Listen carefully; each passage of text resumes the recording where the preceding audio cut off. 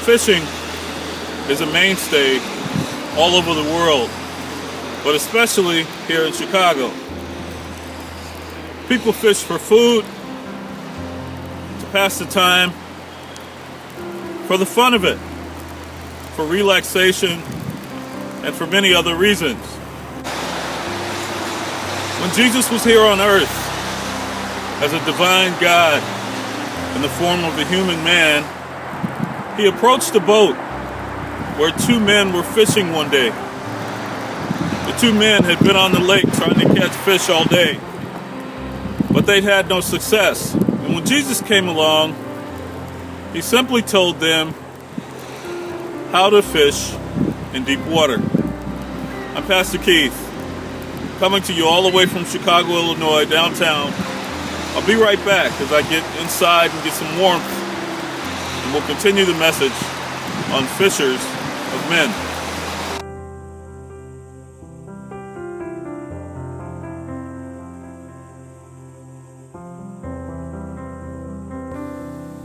Using Jesus as bait is only the beginning.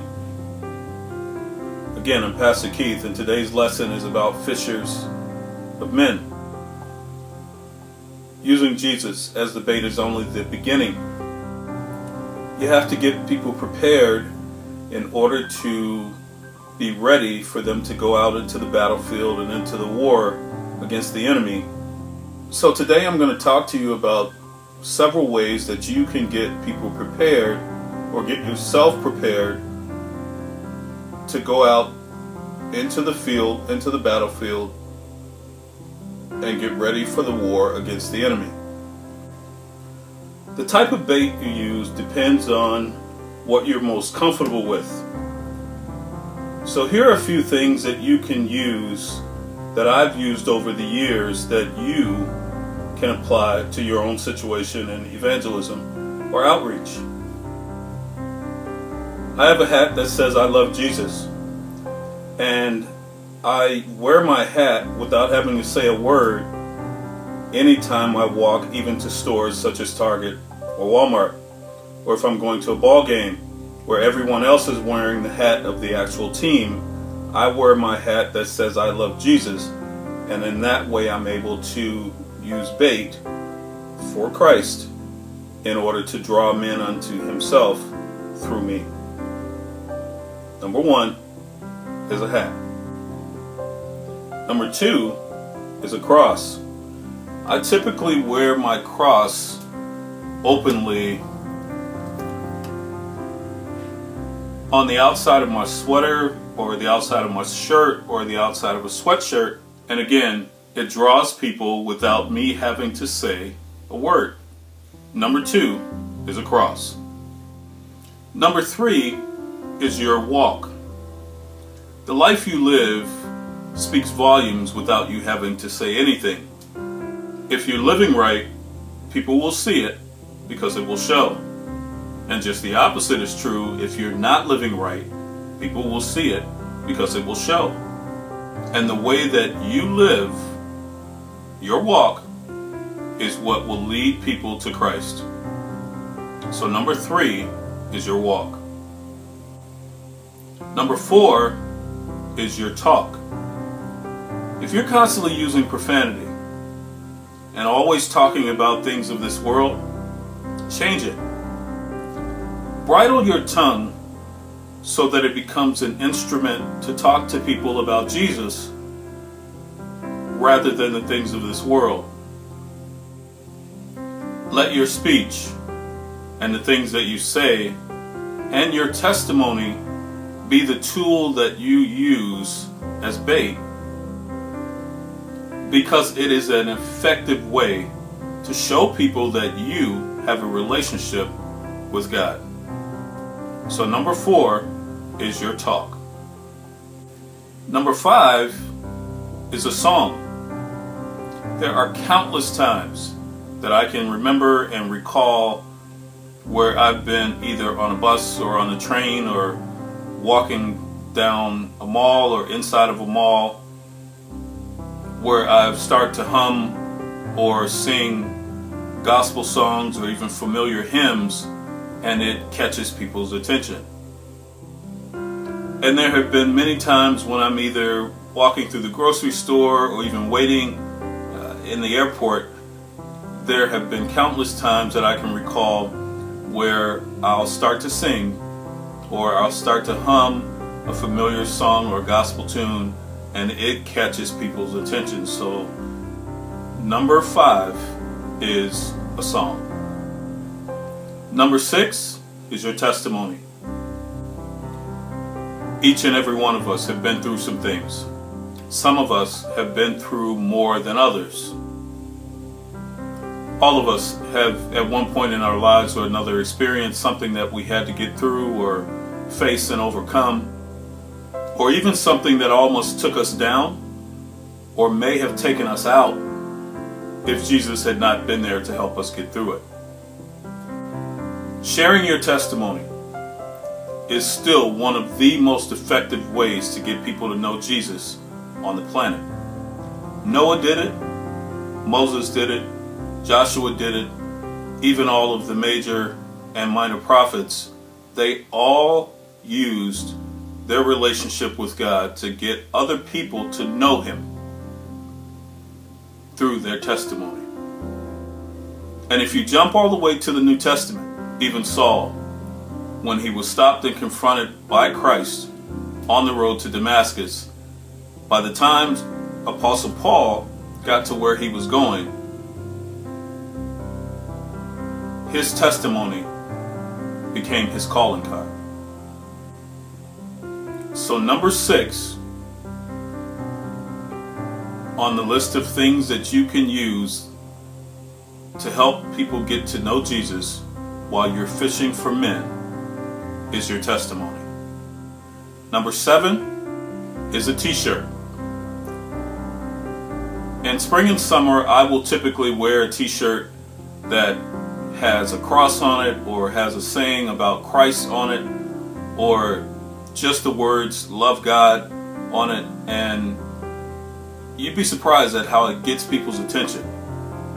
You can have the name of a church on it, you can have it, just about anything that relates to the kingdom on a t shirt, and you'd be surprised at how it gets people's attention.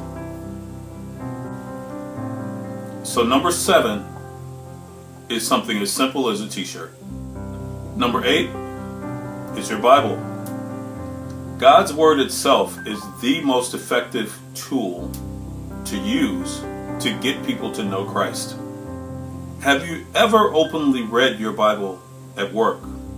How about just sitting out in the park? Have you ever just walked down the street holding your Bible so that people who would pay attention to it could see it?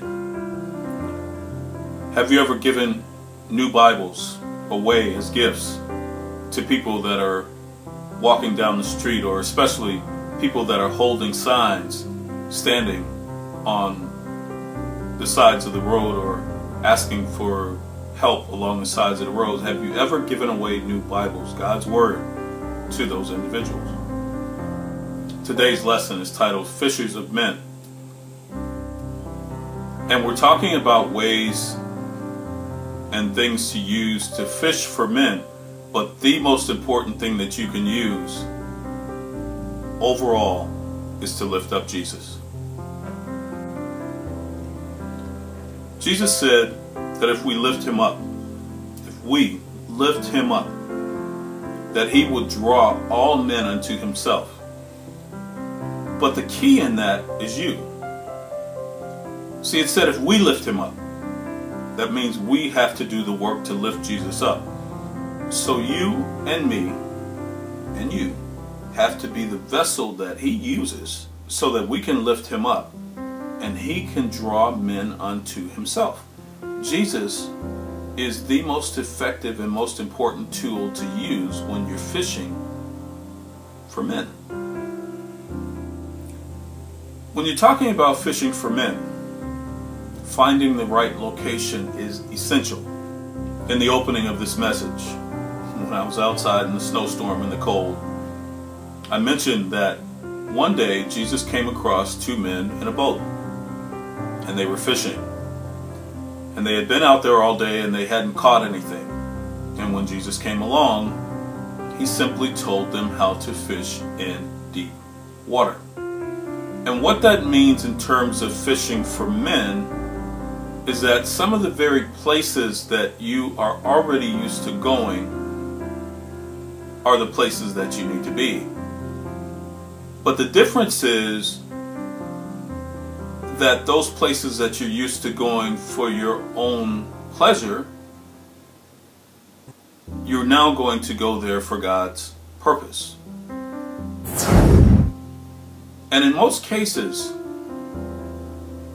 you've already been to some of these places, but you did not go there with the intent to lift Jesus up so he could draw men unto himself, so that it would lift up and build up and edify God's kingdom. See, many of you have already been to homeless shelters and nursing homes and prisons and orphanages. Many of you have already been to hospitals for one reason or another. Some of you have witnessed people sleeping outside at night. And I don't mean people sleeping outside at night to get a new iPhone or a new television the next morning. I mean people who physically have to sleep outside at night because they don't have any other option. Some of you have walked into libraries during the day, but the difference is when you're fishing for men, that you go to those places with the purpose in mind that you're going to help win souls back to God. So you probably did not go there with the mission and purpose and passion for evangelism and outreach. And you probably went there for whatever it was you were going for, to visit somebody in the hospital or to take out a book the from the library and but again, the difference when you're fishing for men is that you go to these same places with the expressed intent of helping to lift Jesus up so that he can draw men unto himself. See, in the book of Matthew, chapter 25, verses 31 to 46, but specifically verses 35 to 36, Jesus mentions all these places in detail because all of these places are essential to you being used as a vessel to lift up Christ so that he can do the drawing unto himself. All of these places, such as the hospital and the nursing home and the orphanage and the prisons, they're all considered deep water. Again, when Jesus happened upon two men that were fishing, and they had been out there all day, but they didn't catch anything, he simply told them to fish in deep water. And he told them how to do that. And he told them where to do it. And all they had to do was change their focus, change their mindset, change their method of fishing so that they could catch what and who he wanted them to catch rather than what they were after themselves. Again, all these places are considered deep water.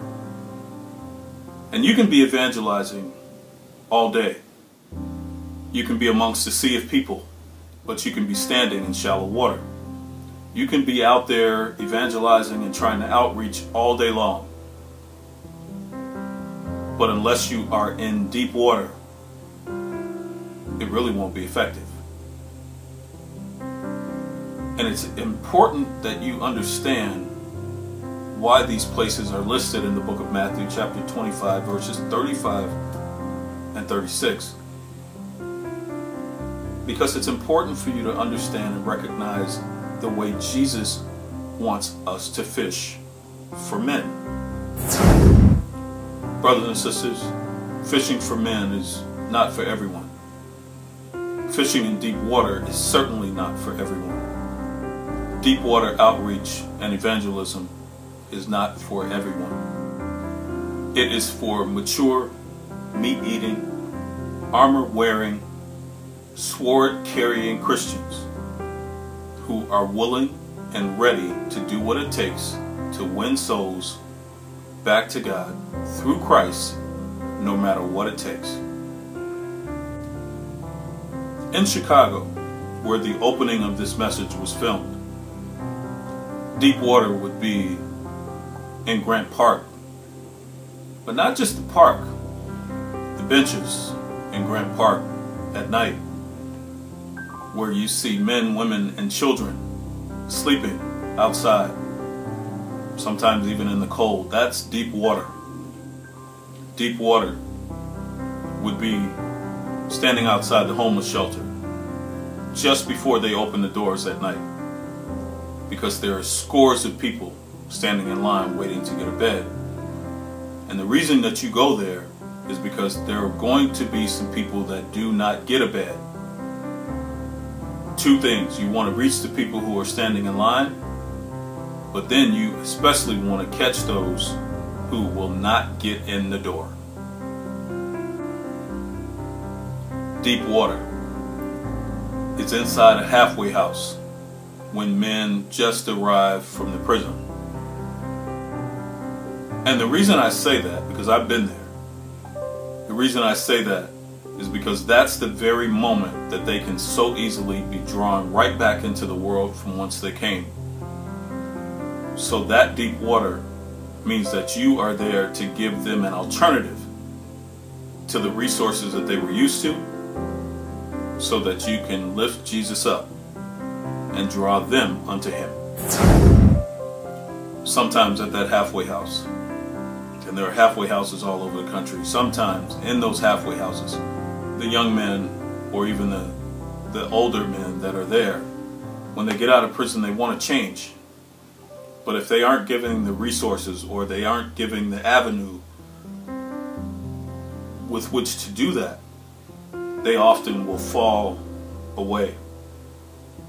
So you have to be there in that deep water to give them what they need, to show them the path that they need to take, to give them the resource that they will need because typically they don't know what to do next. They don't have a clue on what to do next now that they have this newfound freedom and they are out of jail halfway and they don't know the steps to take to maintain that freedom or how to get on a new path other than the old path that took them to jail. Deep water is inside the public libraries where countless homeless people go each and every single day to get free access to computers because they're there because they're, number one it's warm number two it's it's dry. They're off the street. They can go there. They can get free access to computers during the day. But it's deep water because they are often there in the middle of that distraction instead of going out looking for jobs, looking for a place to stay to be able to get back up on their feet. It's deep water. And when you go there to help show them how to do those things, deep water is standing outside the liquor stores or the drug houses or even the places where prostitutes hang out. That's deep water. Because when you go there, you are certainly going to be in the thick of it. Thickest deep water that you can find. Out standing outside the liquor stores or outside the drug houses or on the street corners where the prostitutes hang out. That is the deepest water that you can possibly find but you have to be ready. You absolutely have to be ready before you take on that kind of deep water. And this message is designed to help you get there. Again, fishing in deep water is not for everybody. Fishing for men is not for everybody. Everybody cannot do it. Everybody should do it. Because it clearly says in the book of Proverbs that he who wins souls is wise. But fishing for men and fishing in deep water is not for everybody. Everybody is not ready. Everybody is not seasoned. Everybody is not strong enough, mature enough, strengthened enough in the, in the faith and willing to be able to, to do these things because it takes willingness. You cannot do it without willingness. And then once you have that willingness, you have to be committed to be able to go there over and over and over and over again. Because let me tell you something that I've, I've let me tell you something that I've experienced being out there in the thick of it. The men who are outside in these homeless shelters will not trust you, number one, because they consider you an authority. Even though the authorities that are over them, whether it's authorities in prison or authorities at that shelter, you won't be trusted because you come along as a spiritual authority. Now, some of them will open up to you, but they won't trust you at first.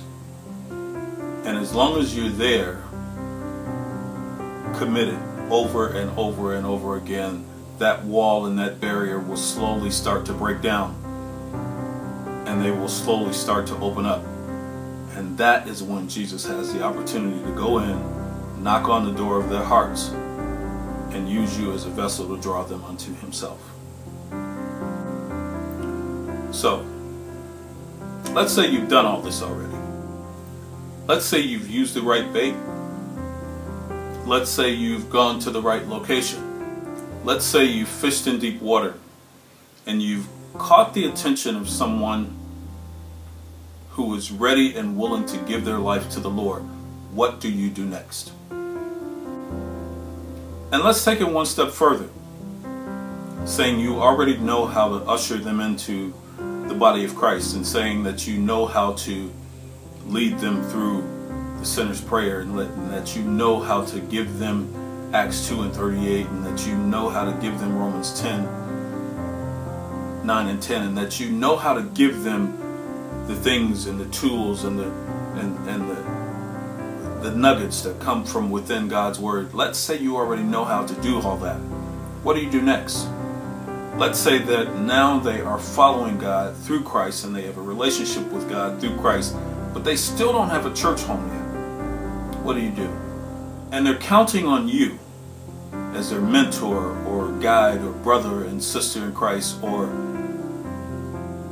even if you're a pastor or, or lay leader and they come to your class as a student, what do you do next? So let's say that you've gotten them to the place to where they are they're on fire for the Lord. They're ready to go to the next level and but you have to be able to, to get them there. If they don't have a church home yet or even if they do and they're just sitting in the pews not knowing what to do next because they're not taught that sitting in the pews and coming to church and on Sunday and just coming to Bible study on Wednesday is not all of it. That's part of it, but that's not all of it. So if you don't teach them and tell them what to do next, they will continue to sit there year after year after year after year after year, coming to church every Sunday, going to Bible study every Wednesday, without knowing what to do next, without ever knowing that it's time to get out there and go to work. It's time to go fish for men. It's time to go out into the deep water and lift Jesus up so he can draw people unto himself. So the next thing you do, now that they've made it that far, is to start them on the process of becoming a seasoned saint. So the next thing you do is to add salt. And here's how you do that. Adding salt to help that person who is now on fire for the Lord learn how to take their walk to the next level means that you teach them how to study God's Word, not just read the Bible, study God's Word in depth. You have to be willing, able, and ready to teach them. You have to be mature enough to teach them how to study the Word of God in depth. And it's vitally important and it's their process of becoming a seasoned saint. So you have to add salt to them. You have to teach them how to study and hear God's word and to do what it says. You have to teach them what you have been taught so that they can learn how to apply it to their own lives. You have to teach them what you have been taught and then teach them how to apply it to their own lives. That's how you add salt. It's how you begin to add salt to them so that they can go through the process of becoming a seasoned saint. You have to teach them how to walk right, talk right, and live right, and sing and pray right and love right so that they can become a blessing to others, so that they can be used as a vessel for God to go out and be a blessing to others like you've been a blessing to them. You have to teach them how to be living witnesses and living sacrifices and willing servants and willing vessels. And you have to teach them how to become not just a Bible scholar, because there are a whole lot of religious people out there that can quote the Bible, but to become a servant of God, a servant, able to be used by God for His glory. And when they're ready, they can be sent out two by two after about three years of training so that they can witness the exact same process that took you out there into deep water to draw them. Now they are ready to go out and draw others.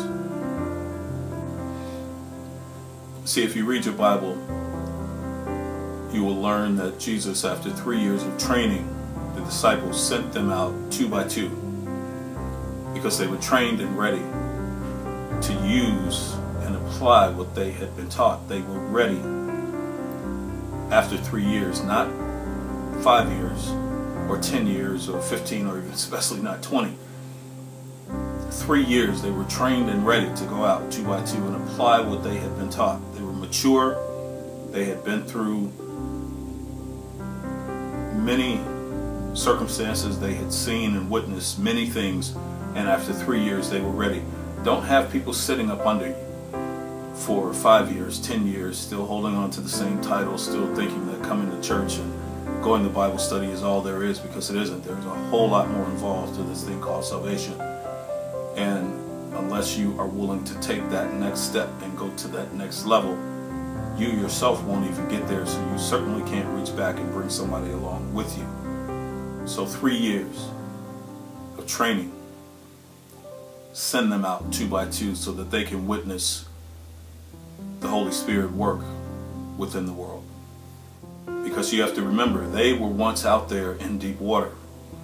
So it's vitally important that you, now that they have been seasoned and you've added salt to them, to send them out into the world so that they can witness exactly what the Holy Spirit is and how it works through them to help draw others, lifting up Jesus to draw them unto himself. And what more effective way to do that than to send them right back into the same deep water where you found them? Because once they're seasoned, you can send them out two by two into the fire where the devil is trying to steal, kill, and destroy everything that you have taught them and everything that Jesus has imparted and instilled into them. Send them out into the fire. And again, some of the thickest water, some of the deepest water, and some of the thickest fire that you will ever meet and see and witness is standing outside the liquor store and standing on the block where the drug dealers have a stronghold and standing on the corners evangelizing and outreach where prostitutes hang out. Deepest water, thickest fire. That's where you need to send them because that's where they are from. So what better way and what more, more effective way than to get the Holy Spirit to use them out in that fire where they came from and out in that deep water where you were used to draw them out of send them out two by two after three years of training so that they can begin to witness and minister and lay hands and speak life into death and destruction and bring light into darkness. Send them out two by two so that they can return with a good report of the good news that they witnessed the Holy Spirit do out there on the battlefield. Again, fishing for men is not for everyone. And certainly fishing in deep water is not for everyone. So to help you get started, years ago I wrote a book titled Transform Your Schedule, Transform Your Life. And in it, in this book, are about a dozen calendars, right about a dozen calendars, uh, month by month, that show step by step instructions and it gives detailed suggestions on where to fish in deep water, how to use the right bait. It, it shows a number of things in this book, in, including a very comprehensive curriculum that you can follow Again, I wrote this book several years ago. It's available on Amazon, Barnes & Noble, and through the libraries and all other places, but or even on my website, lessonsforlifebooks.com. But these calendars can help you learn to understand, to apply how to fish in deep water and how to fish for men. Again, fishing for men is not for everyone. And if you're not ready you will not be effective at it. So take what you've learned here today and put your faith into action by fishing for men using the right bait at the right location so that when you lift Jesus up and he draws them out of the deep water unto himself and they become a seasoned saint after you've added salt so they can be sent out into the deep water and onto the into the fire and onto the battlefield to work for the Lord and to help lift up and edify the church and to build up God's kingdom. So that when you arrive in heaven, when it's your time, when your number is up, when you lay down and rest and the trumpet sounds, when it's your time, God can say, Well done, my good and faithful servant. I'm Pastor Keith. May God bless you. And may he keep you today and always. In Jesus' name.